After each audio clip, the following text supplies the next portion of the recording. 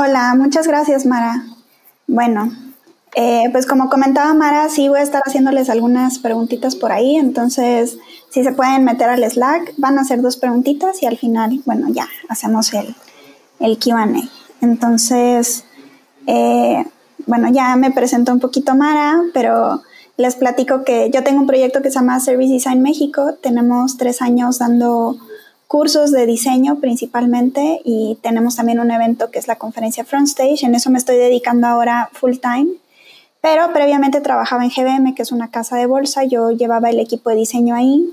Y antes de eso estuve en BVA. Digamos que ya tengo unos cinco años trabajando en sector financiero y antes de eso en consultorías. Entonces trabajé en Idea Couture, que es una agencia de innovación de Canadá, de Toronto, y en Face, donde hacía diseño gráfico, diseño visual. A la par de esto, doy clases en Centro y en Libero, en, en la Ciudad de México y en Puebla. Y de formación estudié una maestría de innovación de negocios y recientemente una especialidad en diseño prospectivo. Entonces, eh, quiero que me acompañen en, imaginar brevemente este escenario. Yo creo que aquí seguro vamos a tener personas que son diseñadores, pero también muchos que no son diseñadores. Y quizás tenemos algunos que ya tienen experiencia siendo managers, que a lo mejor ya tienen varios años liderando un equipo, y a lo mejor otros que no lo han hecho todavía, ¿no? Pero en este momento me gustaría que se imaginen brevemente que hoy es su primer día como un manager de diseño. Entonces, primero que nada, eh, pensando en este escenario, posiblemente son, no sé, un UX lead, eh, un director de, UI, ¿no? De cualquier área de diseño que se imaginen. Y pues felicidades, ¿no? Creo que eh, es importante tener estos, estos, roles en las empresas, creo que cada vez va a haber más. y al día de hoy, pues todavía podemos ver pocas empresas que se están animando a tener pues una, dirección, un head, un lead de diseño, ¿no? Entonces, eh, imaginen que este es su primer trimestre en este rol y pues es un momento importante. Creo que es un momento importante para ti, es un momento importante para tu carrera profesional, también es un momento importante para el equipo que tienen un, un nuevo jefe y también creo que es muy importante, y es mucho de lo que voy a hablar al día de hoy, de la percepción que tiene la empresa sobre el diseño. Entonces, para que la empresa ya tenga un manager, significa que pues para ellos el diseño es importante y le están dando esa importancia y ese, ese liderazgo, ¿no? Eh, entonces, aquí esta es la primera pregunta que les quiero hacer, si lo pueden dejar por ahí en el, en el Slack, en el canal de Live. Yo aquí le voy a echar un ojo a las respuestas. Si ustedes son managers por primera vez, ¿en qué se quieren enfocar? ¿Cuál sería lo, primero que harían en estos tres meses que son tan importantes para ustedes? Si, se van al Slack, pueden contestar. Yo puedo ver brevemente algunas de las cosas que, que contestan.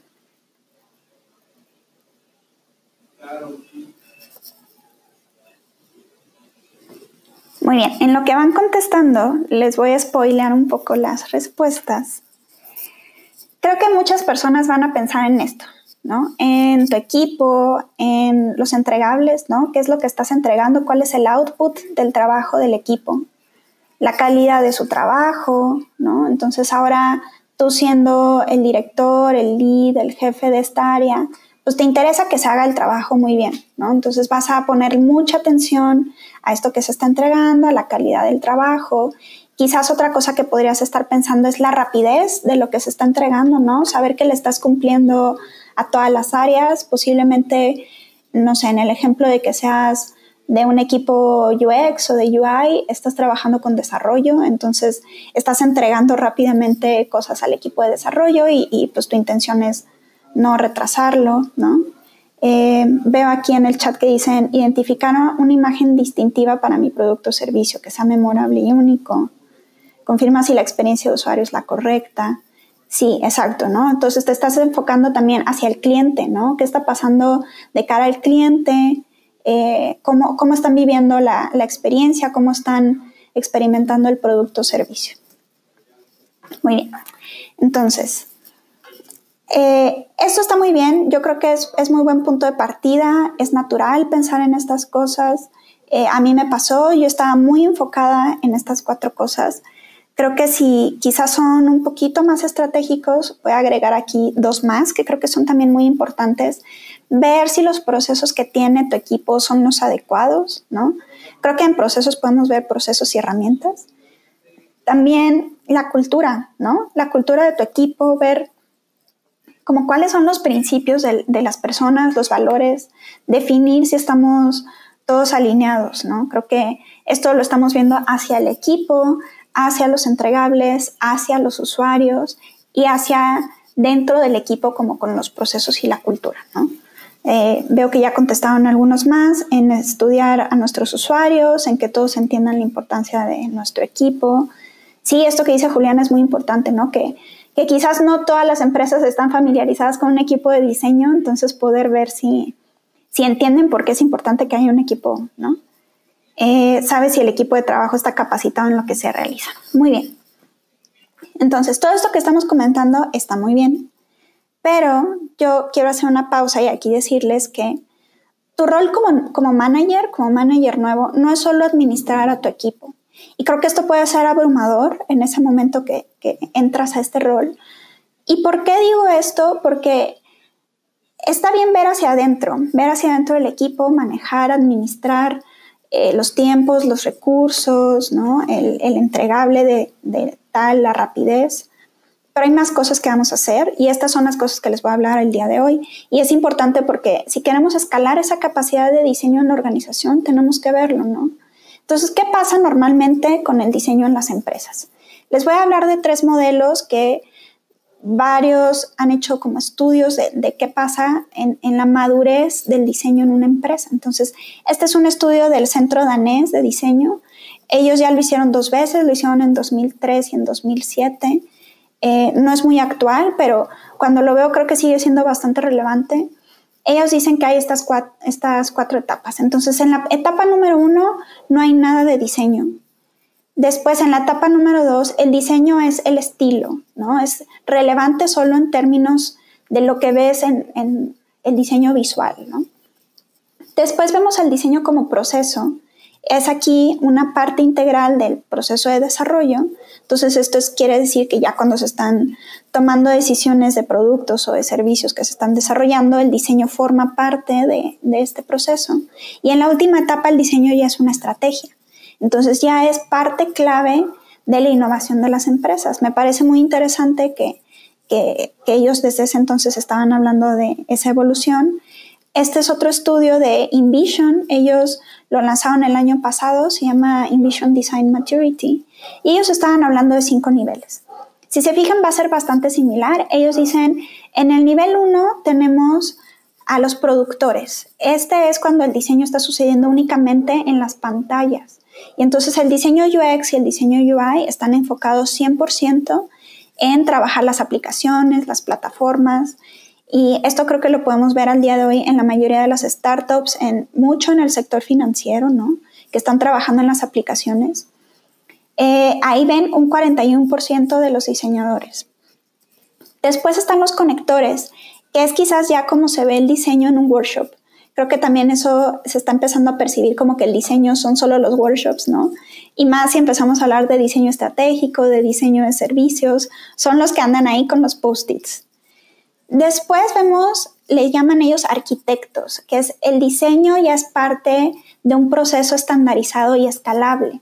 Entonces lo estás llevando a otras áreas, te estás acercando quizás con otras áreas que nunca habían tocado diseño, ¿no? A lo mejor de software interno de a lo mejor ya ni siquiera software, a lo mejor de procesos legales o jurídicos, ¿no? Y es, muy emocionante cuando llegas a ese nivel de madurez. Después tienes a los científicos, entonces este, ellos dicen ya es un 12%, y son cuando el diseño ya son hipótesis y experimentos, y está muy interesante cuando una empresa llega a ese nivel, porque es una empresa que puede estar probando cosas y se animan a prototipar y están todo el tiempo validando o invalidando las hipótesis que tienen a través de metodologías de diseño. Y la última, donde solo hay un 5%, le llama visionarios y es donde el diseño ya es parte de la estrategia de negocio. Entonces te estás pudiendo acercar al top management, al CEO, al fundador de la empresa y lo ayudas y lo guías con metodologías de diseño a tomar decisiones. Eh, esto también en 2006, eh, Jacob Nielsen, de, también gran, gran diseñador UX de, los padres del UX, definió esta matriz donde también habla de etapas de madurez. Él se, enfocaba mucho en, en, lo que pasaba con el diseño UX y habla de ocho etapas. Y entonces él habla, por ejemplo, la primera etapa la llama hostilidad. Y él dice que esa es la etapa donde a los desarrolladores simplemente no quieren escuchar sobre los usuarios o sus necesidades. Está muy triste. Espero que si aquí hay amigos desarrolladores no, no estemos en esta etapa porque él dice que salir de ahí, la duración de esa etapa puede durar décadas. ¿no? Entonces, espero que estas hayan sido las décadas pasadas y ahorita ya estemos al menos en un punto entre el 2 y el 8. El 2 dice centrado en desarrollo. Entonces ahí hay un equipo de diseño, pero depende un poco de su propia intuición. Eso puede durar dos o tres años. Después está la parte que le llama Skunk Works, que es más cuando, cuando hay una investigación que sí se hace, pero se está haciendo quizás de forma guerrilla, ¿no? No tienes presupuesto, no tienes investigadores con experiencia, o a lo mejor lo estás outsourceando, lo estás mandando a expertos externos que te van a ayudar a hacer esa investigación. En el punto 4 tenemos un presupuesto dedicado, está súper bien porque ahora ya hay pruebas de usabilidad, ya hay un presupuesto para hacerlas, se están planificando y idealmente se están haciendo incluso desde una fase de descubrimiento, no solo ya cuando construiste algo. En, el quinto, en la quinta etapa, él, él dice está manejado, o sea, hay alguien que ya piensa en la usabilidad de toda la organización, de los proyectos, de las fases. Creo que este sería el caso del escenario que les planteaba previamente, donde ya hay un head, un lead o un director de diseño en la empresa. Eh, el sexto es, es un proceso sistemático, entonces hay un seguimiento de la calidad de la experiencia del usuario. Digamos que hay alguien que está poniendo la atención al journey map, ¿no? O está viendo eh, qué están diciendo las personas en la encuesta de satisfacción. En el séptimo ya lo llama diseño centrado en el usuario integral, entonces aquí se habla de que ya hay datos de usabilidad, quizás está todo muy bien traqueado y te ayuda a determinar qué es lo que vas a seguir construyendo. Entonces esto idealmente va a durar muchos años en la empresa. Eh, ya una vez que empieza es difícil quitar esta mentalidad, pero todavía hay un mejor, una etapa más ideal, que es una empresa user driven, y entonces aquí es el, este diseño que hablábamos estratégico, ¿no? Afecta la estrategia y las decisiones corporativas más allá del diseño de interfaz. Entonces aquí es la otra pregunta que les quería hacer, si se pueden ir igual al live. Pónganme el número de la etapa en la que está su empresa. Pónganme del 1 al 8 en, en dónde se ven o, dónde se sienten que están. Si son diseñadores o, están en una, una, empresa, a lo mejor ustedes no hacen diseño, pero están en una empresa donde se hace diseño pónganme el numerito ahí en el, en el chat para tener un poco la, la noción de por dónde andan.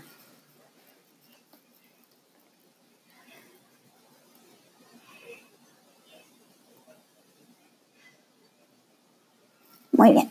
Igual en lo que me van poniendo el número del 1 al 8 ahí en el chat del live, les platico un poco que este tema pues eh, me interesa mucho y tengo un buen tiempo explorándolo. Eh, tengo también un proyecto que es el estado del diseño de servicios en México. Lo pueden encontrar como esd19.servicedesign.mx. Y este estudio está enfocado principalmente en diseñadores de servicios, pero creo que hay muchos diseñadores de otras áreas que lo han podido contestar. Y este es del año pasado, justamente les pregunté, en este caso les dije del 1 al 10, donde uno es una empresa con muy baja madurez, donde a lo mejor el diseño es considerado meramente visual y el 10 es que se considera como parte de la estrategia corporativa en donde te ubicas.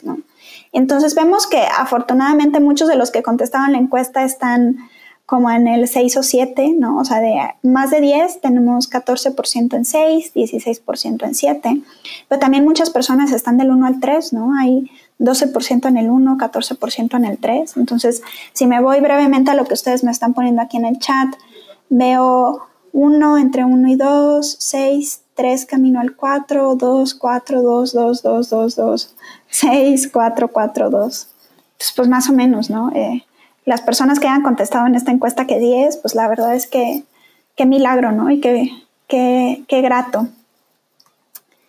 Entonces, bueno, siguiendo con nuestro imaginario, eh, la mala noticia es que la empresa en la que trabajas tiene una baja madurez de diseño, que es lo que me están diciendo, ¿no? Están ahí entre el 2 y el 6.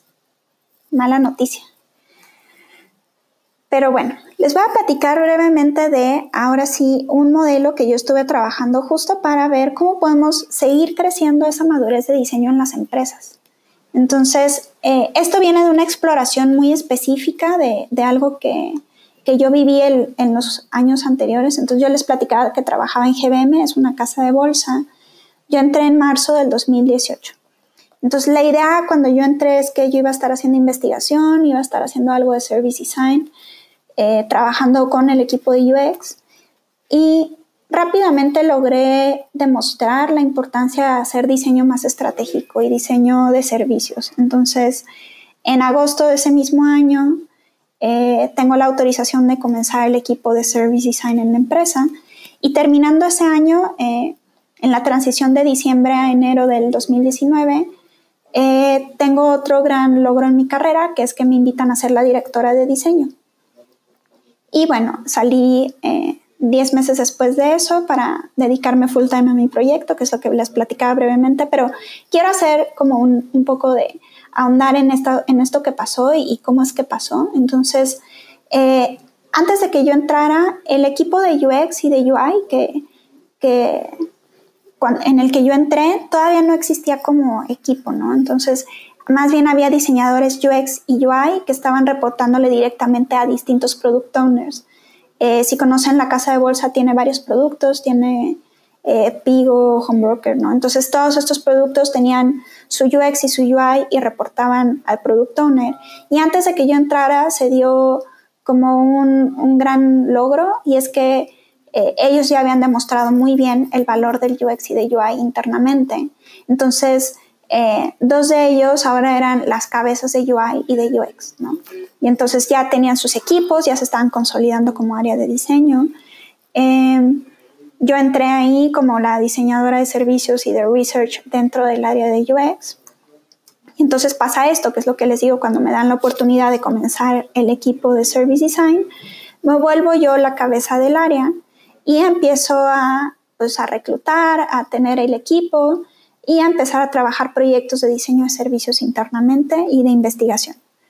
Entonces ya, eh, esto, en, esto estaba al inicio, bueno, a mediados del 2018 y a finales del 2018, inicios del 2019, es que me invitan a ser la directora de diseño y entonces ya se estaba viendo así, ¿no? Que algo muy interesante es que a pesar de que había heads de diseño, estos heads, cuando estábamos acá, estábamos reportando al área de digital, ¿no? Entonces, eh, aquí ya había una dirección, era yo, estaba, estaba pues a la par de la dirección de marketing y de otras direcciones, ¿no?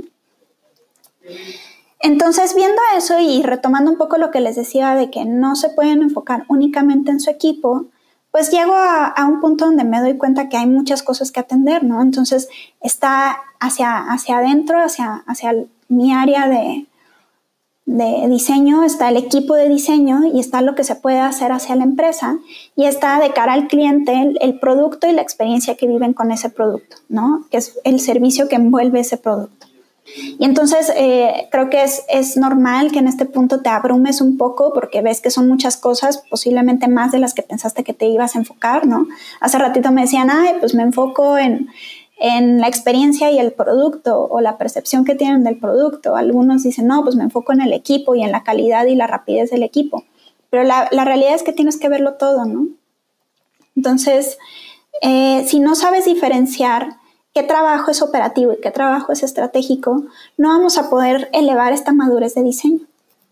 Entonces, eh, más o menos lo que pasa en ese mismo camino, que es más o menos el que les platicaba, es que si tú eres un diseñador en una empresa, la verdad es que estás en un punto bastante privilegiado porque te toca atender el producto y listo, ¿no? Entonces tú diseñas tus pantallas para ese producto, ves la usabilidad, los flujos, la arquitectura de la información, eh, la experiencia, ¿no? Pero digamos que tu dominio es ese producto.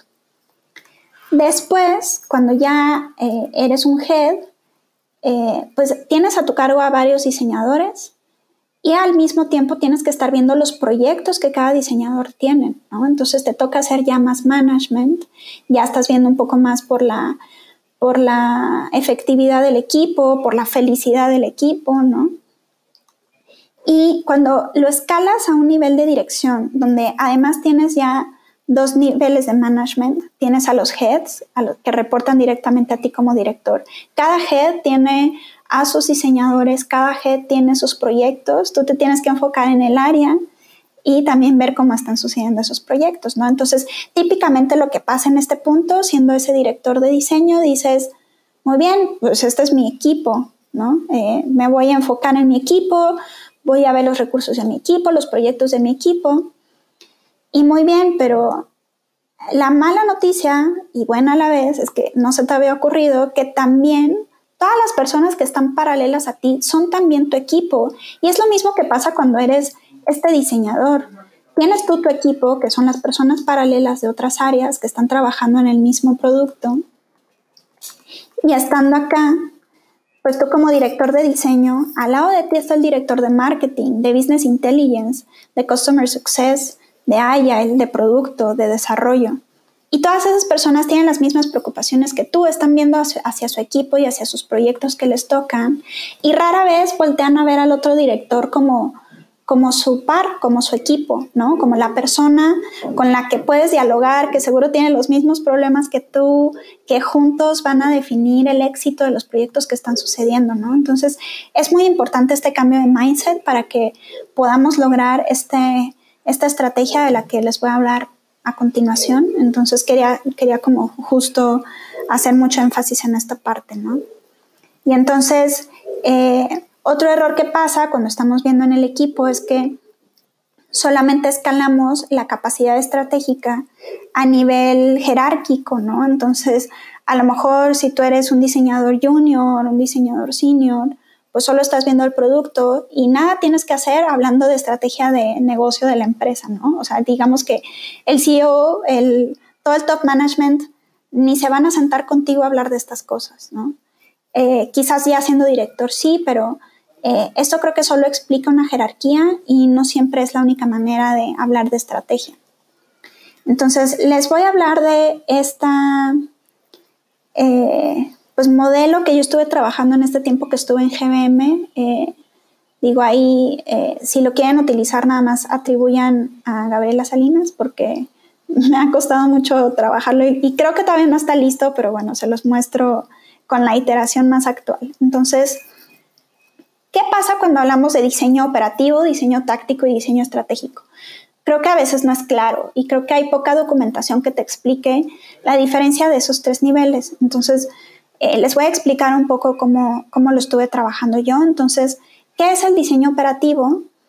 Es alguien que está ejecutando estos proyectos y cuando los estás ejecutando con tus propias manos, eh, parte de tu rol, de tu dominio, es poder mejorar las prácticas de diseño cada vez más. Entonces te vas a volver un experto en el craft del UX, del UI, de la arquitectura de información, de la investigación, del diseño de servicios, cualquier área de diseño creo que puede tener su parte operativa. Y entonces tienes que generar esa expertise en el uso de todas las herramientas que tú tienes a la mano, en todas las metodologías que tienes a la mano. Entonces te toca ser el experto del software, ¿no? Entonces, si usas Sketch o Figma o lo que sea lo más nuevo que estés utilizando, eh, o metodologías de design thinking, de hacer el journey map, de hacer el service blueprint, ¿no? Esa es tu expertise. Y te tienes que asegurar que tu trabajo esté alineado con los objetivos trimestrales. Entonces, tienes que tener muy claro el producto en qué punto está, en el trimestre en donde tienes que llegar, eh, cómo está el backlog, cómo, qué es lo que tienes que estar trabajando, qué es lo que tienes que estar investigando. Tienes que promover una práctica multidisciplinaria, ¿no? Te tienes que acercar y sentar al lado del desarrollador para juntos trabajar, ver qué está pasando en marketing, ver qué tienen los de la data, ¿no? Entonces ese es parte de tu rol. Tienes que definir tus propios planes de trabajo, es es tu responsabilidad definirlos y trabajarlos, ¿no? Estar siempre depurando tu propio backlog personal, digámoslo así. Y eres al final el owner del resultado porque fueron tus manos las que crearon las cosas, ¿no? Y entonces aquí quizás estás viendo métricas de producto, de servicio. Si nos vamos a lo táctico, eh, posiblemente eres una persona que ya se está encargando de equipos y de proyectos, varios, ¿no? Entonces, te toca crear roadmaps realistas e ir asesorando esa ejecución. Entonces, tú te vas a sentar con varios leads, van a hacer un roadmap de lo que las personas en el nivel operativo van a trabajar y tiene que ser realista. Tienes que también hacer mucho trabajo de desarrollar y construir las, las capacidades del equipo que tienes a tu cargo, ¿no? Entonces, mucho de tu trabajo va a ser cómo ayudas a expandir los skills especializados de tu equipo. Y parte de eso tiene que ver mucho con el crecimiento profesional del equipo, poder hacer planes de carrera, poder capacitarlos, mandarlos a cursos. Tú mismo, si tú tienes este, esta capacidad, que posiblemente la tienes, por eso llegaste a un nivel más, más táctico, más directivo, pues puedes trabajar en, en capacitar a estas personas de tu equipo. Y tienes que medir y comunicar estos resultados de tu área, de tu equipo con, con top management. Tienes que también generar consenso con niveles paralelos y sus equipos sobre cuáles son los objetivos de negocios. Y eres este puente entre esos objetivos más estratégicos que vienen desde arriba, que son a veces muy ambiciosos, que son a veces no tan claros, y verlos cómo los vas a implementar. Entonces, cuál es esa implementación más oportuna, más efectiva y ahí lo que estás viendo es las métricas del equipo y de los proyectos como tal. Y a nivel estratégico, eh, tu trabajo, digamos que, que viene mucho hacia abajo, pero también tienes que hacer mucho empuje hacia arriba. Entonces, estás viendo, estás definiendo esa estrategia de la mano con el negocio y el top management. Entonces, ya te sientas con los directores de otras áreas y con los dueños, los fundadores, los CEOs, como, como sea la estructura de tu empresa, y empiezas a definir esa estrategia más a largo plazo, ¿no? Estás contribuyendo a esa visión, estás planeando a largo plazo, estás evidenciando estos principios de diseño en esa visión y en el posicionamiento de la empresa hacia afuera con los clientes y tienes una capacidad de entender el big picture, toda la fotografía completa de todos los proyectos conectados entre sí, incluso en los que tú no tienes nada que ver. Y además aseguras esta integralidad entre todos los proyectos junto con proyectos de diseño de diferentes scopes o disciplinas. Entonces sabes que están haciendo los equipos de research, los equipos de service design, los equipos de UX, los equipos de UI. Y con esto también puedes integrar estas capacidades de diseño con los niveles paralelos de management, porque si solo el equipo de diseño diseña, es muy difícil que lleguemos a madurar esta, esta percepción del diseño en la empresa. Es muy importante que todos lo entiendan, que todos lo usen. Eso no significa que el de marketing va a ser experto en diseño, que el de data o el de desarrollo va a ser experto en diseño. Cada quien es experto en lo que es, pero tienen que compartir las metodologías porque son las que están guiando la estrategia de la empresa. ¿no? Además te toca gestionar, y lo pongo gestionar, pero muchas veces es la parte política y de, pelear y justificar recursos, budgets, procesos más amplios, generales, ¿no? Y aquí estás viendo las métricas del área, pero también las métricas de la empresa. Entonces ya estás viendo, pues, el revenue, eh, si los clientes eh, están cancelando las cuentas, ¿no? Todo el costo de adquisición. Entonces te, te metes mucho con las otras áreas a ver esas, métricas de toda la empresa. Entonces, esto que les muestro, este modelo en el que yo trabajé mucho, eh, creo que es fácil pensarlo si lo estamos viendo en este nivel jerárquico. Eh, no lo veo mal, creo que puede ser un punto de partida. Si estás perdido, creo que es muy difícil ser el diseñador de hasta abajo y que de pronto te avienten un trabajo súper estratégico. Entonces es normal que quienes están en la parte de abajo pues tengan capacidad de desarrollar el craft, ¿no? en la parte operativa. Quienes están en, en, una posición de más liderazgo tienen además el empowerment de parte de la empresa pues, para trabajar cosas más tácticas y lo mismo el estratégico, ¿no? Es, tiene mucho que ver con estar en un rol de dirección.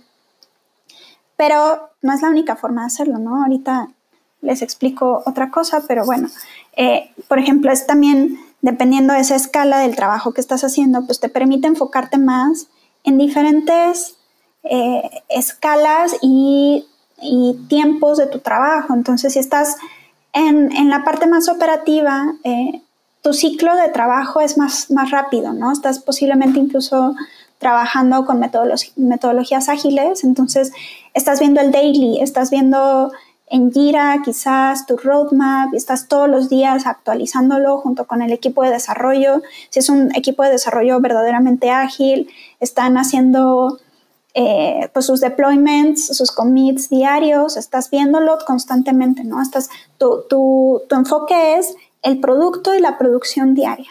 En la parte más táctica, tienes que tener una visión de qué es lo que va a pasar todo el año, irlo rompiendo en partes, ¿no? Entonces, este Q nos vamos a enfocar en esto porque va a construir hacia acá.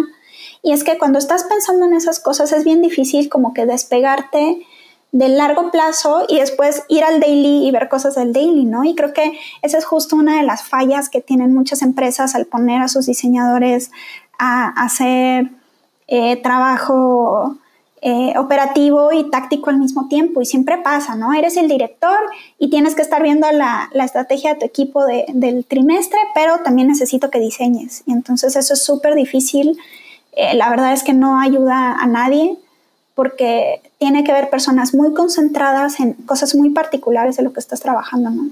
Y lo mismo en la visión de cinco años. Imagínense que están haciendo un trabajo prospectivo con el top management, con eh, el director general de la empresa y estás viendo hacia dónde va la empresa, ¿no? O sea, cuál es el futuro de, la banca, de las inversiones, del sector salud, del sector en el que estás trabajando, ¿no? Y entonces eh, estás trabajando con ellos en cómo va a impactar las decisiones que estás tomando al día de hoy, si hace sentido incluso los productos que estás desarrollando, si hace sentido incluso matar un producto, por ejemplo, ¿no? Con, con las cosas que estamos viviendo ese es el tipo de decisiones que se toma a ese nivel.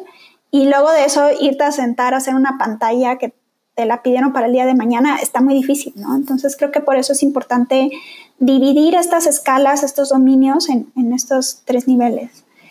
Y les decía que es una forma hacerlo así a, nivel jerárquico, pero la verdad es que no es la única forma. Estamos viendo en, en otros países principalmente cómo están explorando mucho con, con otras formas alternativas de hacerlo y, aquí los dominios tienen que ver más con el craft, con la estrategia y con el management y tienen tracks, tienen career paths definidos para, para crecer en esas áreas y creo que esa es una, una cosa que no vemos y que es, es muy difícil que un diseñador normalmente si quiere crecer profesionalmente y en salario es a través del management, ¿no? Entonces, Quizás así a ti te encanta diseñar y no quieres dejar de diseñar y un día te ponen en una posición de management y tienes que administrar presupuestos y tiempos y contratar personas y estar entrevistando y reclutando y, administrando pues toda esa gestión del equipo y, es bien frustrante para personas que la verdad es que son súper buenos, súper talentosos y que deberían de crecer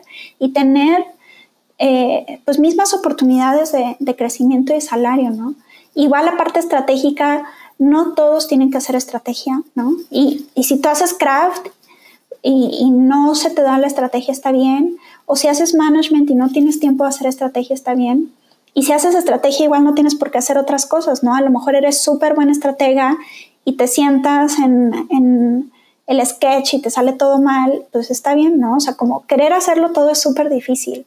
Entonces, esta es una forma alternativa en la que se puede utilizar estas, estos dominios, ¿no?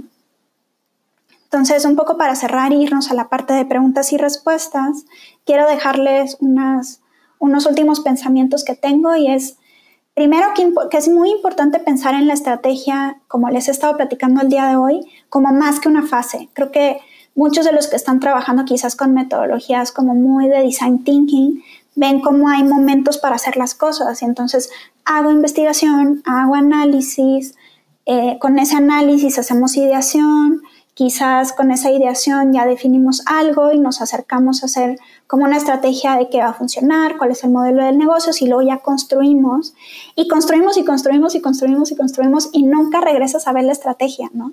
Entonces creo que eso pasa cuando ves, lo ves como una fase o como algo que hace alguien más que tú no, con lo que tú no te relacionas. Entonces, eh, veámoslo como algo integral y que sí necesita un rol de alguien que lo esté viendo todo el tiempo.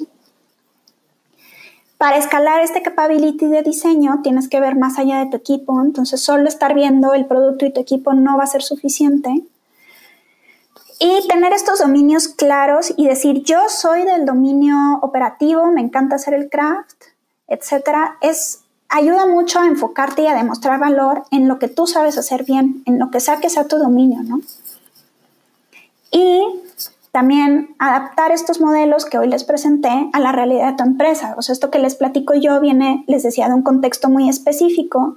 Yo lo diseñé pensando en ese contexto, lo comparto porque creo que muchos han de estar en contextos muy similares, pero eso no significa que va a funcionar igual en tu empresa, ¿no? Entonces, eh, los invito a, si lo quieren usar como base, está muy bien, pero también adaptarlo a pensar otras formas de que esto pudiera funcionar. Y no todos los dominios son para todos, no se estresen, no se preocupen, eso está muy bien. Eh, tengan claro ustedes dónde están, ¿no? Y qué es lo que quieren hacer con su carrera profesional. Creo que ese es un buen punto, de partida para todos los que no estén ya en una posición de management o incluso si estás en una posición de management y lo odias porque odias la administración y quieres volver a hacer diseño, se vale, ¿no? Es, es, es muy válido. Entonces, eh, les quería platicar una última cosa. Les contaba que estamos haciendo una conferencia, entonces... Eh, Va a ser el 15 y 17 de mayo, es especialmente de diseño de servicios. Creo que es buen momento para impulsar la práctica. Es un evento totalmente online. Y aprovechando que están aquí, un regalito eh, por estar aquí escuchándome, eh, les dejo un descuento. Entonces tómenle captura de pantalla a esto. Igual ahorita se los dejo también en el Slack si no les da tiempo, pero Sí, la conferencia la pueden obtener en 800 pesos. Vamos a tener varios ponentes internacionales especialistas en esto. Vamos a hablar mucho de cosas como las que hablé hoy, de cómo escalar el diseño de forma estratégica. Eh, con el código SG30 solo hay 30 lugares, entonces aprovechenlo y es válido hasta el 30 de abril. Entonces ahí tienen el sitio. Y listo, me pueden encontrar en Twitter como arroba Gabriela Salinas, en Instagram igual, pero con un guion bajo al final, Gabriela Salinas guion bajo, y eh, pues en LinkedIn, ¿no? donde me quieran buscar. Muchas gracias y pues vamos a las preguntas. Sí. Vale. A ver.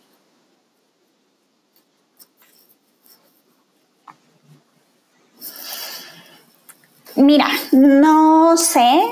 Eh, y, creo que no sé porque yo la verdad soy un poco anti certificaciones. Creo que mucho de esto la verdad es que lo vas a aprender en la práctica. Eh, ¿Qué hay? Hay maestrías. Eh, justo en la, en la, que doy clases en la Ibero es la maestría del diseño estratégico. Está la que yo estudié en CEDIN de Master in Business Innovation. te puedes ir a hacer un MBA, te puedes ir a, o sea, cualquier cosa que te acerque al negocio, porque eh, puede ser diseño estratégico, puede ser tal cual business, administración de, negocios o algo similar. Es lo que creo que te va a dar esta perspectiva estratégica que una propia carrera de diseño no te la da. Siguiente pregunta es, cuando trabajabas en GBM, ¿el UX era para software interno o para los clientes? Y si era interno, ¿cómo puedes convencer tanto a los usuarios y equipo de desarrollo que UX es importante? Por cierto, trabaja en una casa de bolsa. Ah. Eh, a ver, me, ha tocado los dos, en GBM me tocó los dos, en BVA me tocó los dos y sí es bien diferente, creo que cuando estás trabajando con usuarios, la verdad es más fácil, es más noble trabajar con usuarios y ver las necesidades de los usuarios. Eh, cuando estás trabajando hacia software interno, eh, pues creo que justo el, verlo de forma estratégica es lo que te va a ayudar más y ver como cuáles serían las métricas de éxito de ese software. Entonces, si es un software, no sé, pon tú de, de pago de nómina o de algo de finanzas o de, no sé, algo que utilicen internamente, eh, pues sí tienes que acercarte también a los usuarios, quienes están usando eso, pero principalmente a los stakeholders, que son los que quieren utilizar eh, ese software interno, ver quizás cuál fue el origen entender muy bien como qué, por qué se necesita, por qué no están utilizando quizás otro software que ya exista, ¿no? Porque se está desarrollando internamente. Em, y nada, o sea, eh, partir de ahí, ¿no? Como acercarte a las personas, acercarte al top management, ver por qué se está haciendo y, y ayudarlos a tomar decisiones. Creo que a veces estas personas que son como los líderes de, de estas áreas internas quizás nunca se habían topado con un diseñador que les haga preguntas y siempre es muy, muy chistoso ver cómo, cómo ellos van entendiendo por qué se las haces, ¿no? Y que al final, eh, ah, bueno, algo que a mí me ha servido mucho es hacerlos a ellos los héroes, decir, oye, pues tú que es tu, producto, yo te voy a ayudar a ti eh, a que suceda, ¿no? O sea, creo que muchos tienen el miedo de cuando me vienen a preguntar cosas, me están cuestionando, me quieren quitar la chamba, ¿no? O sea, como, como cosas más de política interna que, que luego a veces no entienden por qué, porque no están acostumbrados a tantas preguntas, pero eh, decirles que justo las preguntas es para entender muy bien y para que tú les puedas ayudar a que ellos hagan el mejor producto interno, ¿no? Ok. La siguiente pregunta es, eh, ¿qué pasa cuando te toca hacer tu propio equipo y tienes que hacer craft y management y no te la vida? Y por más que demuestras que no cabe en un horario, no quieren tener más personal. ¿Es momento de moverse a otro lugar? Ay, mira, no, yo no creo que sea momento para moverte a otro lugar porque al otro lugar que te muevas posiblemente va a ser lo mismo. Y es que creo que ese es el punto de, esta madurez del diseño en las empresas. Está casi siempre va de la mano con lo que está pasando en las otras empresas. Claro que hay por ahí eh, algunos ejemplos de empresas que lo están haciendo muy bien y que ya entendieron esto, pero muchas veces lo que te va a tocar a ti es ser tú el que lo impulses y creo que eso se necesita, que todas las empresas tengan a este diseñador estratégico impulsando esto y empujando la piedra. Es, bien difícil, la verdad es que eh, estar en un corporativo es, es desgastante porque es todos los días ir a empujar la piedra y, ver cómo poquito a poquito se mueve, pero no se frustren. Eh, si no lo haces tú, posiblemente nadie lo va a hacer y entonces a la empresa a la que llegues, si no hubo un precursor que lo hizo previamente, entonces no va a haber tampoco como esa capacidad de hacer eh, ese, ese trabajo. Entonces, yo te diría, a menos de que estés como muy, muy infeliz en ese trabajo, quédate ahí y sé tú el portavoz. A mí algo que me sirvió mucho es cuando yo entré a GBM hice eh, una presentación de que era Service Design porque veía que al menos yo UI ya estaba eh, muy encaminado, ya, ya tenía sus áreas, ya habían logrado mucho, pero al menos esta parte más estratégica y de diseño de servicios era nueva. Entonces hice un pequeño deck de unas 10 slides, se lo fui a presentar a los product owners, los product owners me abrieron la puerta para presentarlo con los de desarrollo eh, y lo terminé dando 20 veces, o sea, les gustó mucho que eh, creo que tenía argumentos muy interesantes de por qué es importante invertir en diseño estratégico y entonces eh, lo terminé dando con el top management y fue así que tuve la puerta de conocer a los dueños de la empresa y de proponer hacer el equipo de diseño de servicios. Y la verdad es que yo no lo tenía planeado así, pero ese tipo de cosas sirven mucho, ¿no? Como quizás promueve dar una charla interna en la empresa, haces un ciclo de charlas, explicas casos de otras empresas, a veces nos gana el malinchismo, entonces podría servir que les digas, que en X empresa que admiran ya están haciendo estas cosas, ¿no? Entonces, hay cosas que puedes hacer, pero es sembrar semillitas y hacerlo poco a poco. Eh, a ver, tenemos todavía tiempo para, sí, un par de preguntas. Eh, ¿Qué metodologías son las que se implementan más comúnmente? Metodologías que se implementan más comúnmente. Eh, no sé si se refieren a metodologías de diseño, voy a asumir que sí. Eh, creo que de diseño, por ejemplo, a ver, de las cosas que yo hago en diseño estratégico y en diseño de servicios, eh, se utiliza mucho Journey Maps, User Personas y Service Blueprints. Son creo que las que más sirven para comunicar internamente y tomar decisiones con ellas. A ver, o sea, lo que yo, explico mucho cuando doy mis cursos es que no es que seas un diseñador estratégico si sabes hacer un user persona, un journey map. Es el impacto que logras hacer dentro de la empresa mediante esa herramienta. ¿Qué decisiones se tomaron? Y si esas decisiones están acercando a ser la mejor experiencia para el cliente. Entonces, eh, la verdad es que yo siempre he creído que da igual qué herramienta uses mientras el outcome de utilizar esa herramienta es que se tome una buena decisión en la empresa. Y entonces podrías hacer un diagramita simple. A mí me encantan las matrices 2x2. Eh, puedes hacer un mapa mental, puedes hacer un diagrama de flujo.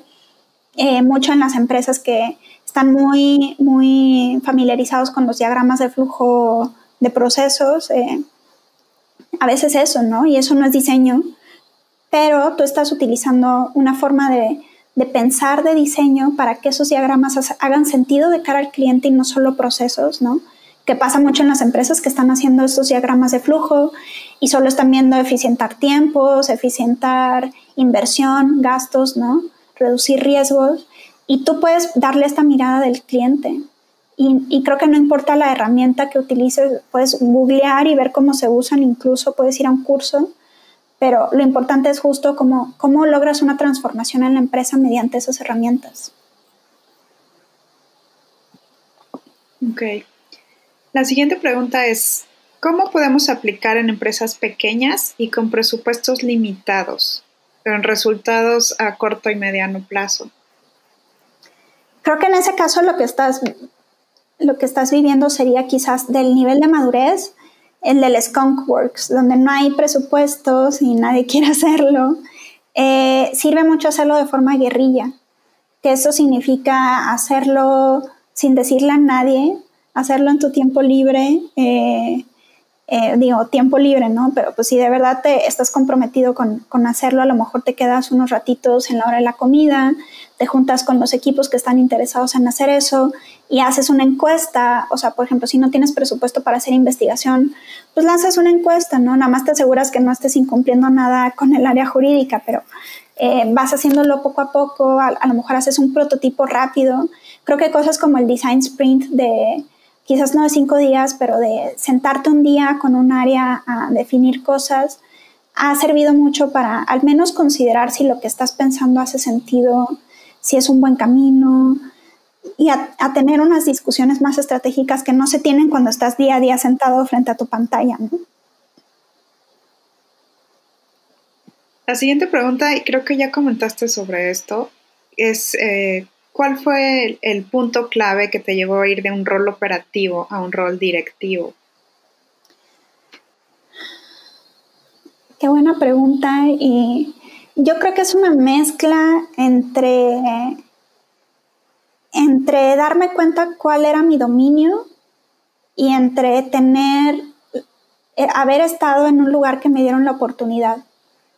Eh, creo que desde, desde hace mucho tiempo que yo decidí cambiar, bueno, porque yo estudié diseño gráfico, yo decidí cambiarme de diseño gráfico a, diseño estratégico eh, muy al inicio de mi carrera y entonces trabajé mucho en, en agencias, pero cuando quise entrar a un corporativo era justo por esta necesidad de explorarlo y poder tomar estas decisiones dentro de una empresa, que haciendo consultoría la verdad es que tienes capacidad y tienes oportunidad de investigar y de proponer, pero ya no te toca a ti implementar nada, ¿no? Te quedas como en las recomendaciones y gracias. Entonces tenía como mucho esta incertidumbre de ver cómo iba a ser dentro de una empresa y sabía que iba a ser difícil, pero eh, yo quería estar en una empresa no en la parte operativa, yo quería estar pues tomando estas decisiones estratégicas y quería también hacer management de equipo. Yo creo que dentro de mi dominio eh, disfruto mucho ambas cosas y, o sea, es, es, difícil porque hacer las, las dos también son, es complicado, pero yo tenía claro eso, tenía experiencia en eso también y además pude estar en una empresa que me dieron la oportunidad, que creyeron en mí, que les pude demostrar y que eh, pues lo pude hacer, que también pudo haber sido que no, ¿no? O sea, pudo haber sido que aunque yo tuviera claro mi dominio, y lo estuviera trabajando, eh, ellos no hubieran entendido por qué lo estaba haciendo. Entonces creo que es ese mix como de experiencia, claridad y oportunidad.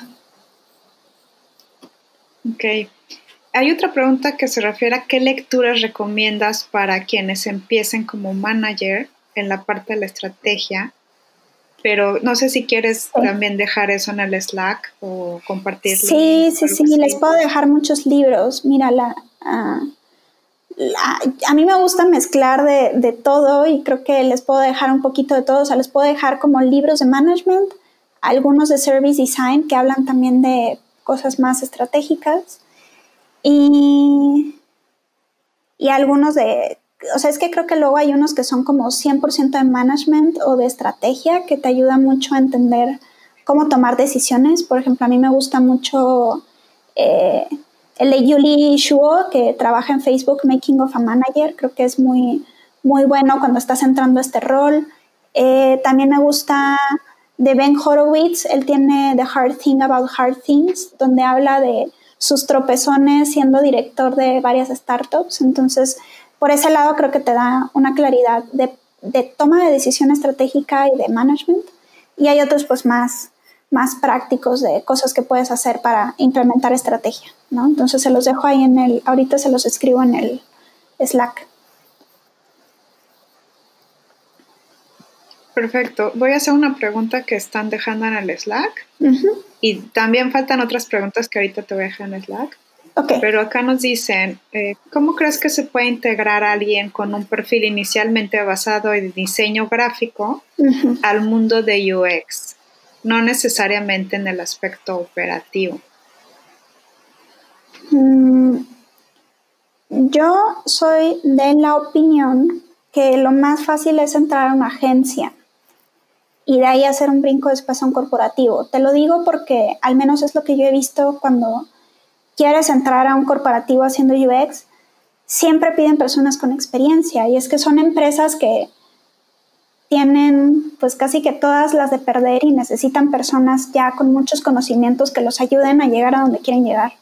Entonces empezar ahí es muy retador, aprendes también mucho, pero yo creo que una agencia es un espacio más noble para explorar, para hacerlo con diferentes industrias, hacerlo quizás no solo con tecnología, ¿no? A mí me tocó pues hasta diseñar eh, nuevas galletas, nuevos sabores de cerveza, eh, otras cosas que no tienen nada que ver con, con producto digital y, y, es muy interesante porque te vuelves bastante estratégico, bastante flexible, aprendes a investigar y con eso ya después es más fácil que puedas obtener ese rol, ¿no? Como, como estratega al menos de UX.